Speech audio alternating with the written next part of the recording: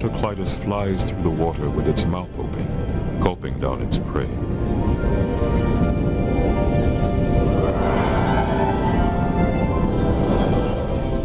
Elsewhere, food is not so plentiful. A dinosaur is traveling to another island, the only way it can.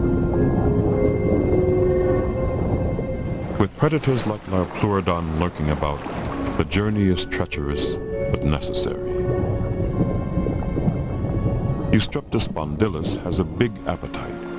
It's the largest carnivore in the British Isles.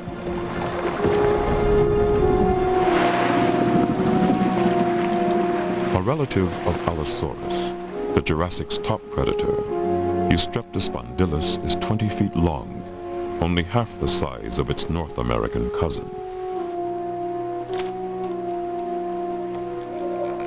It's smaller because its habitat is smaller.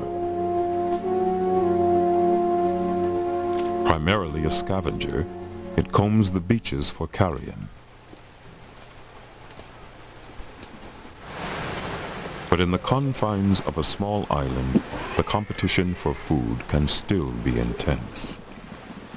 A rival is stripping the carcass of a dead sea turtle. The smell of decaying flesh triggers a confrontation.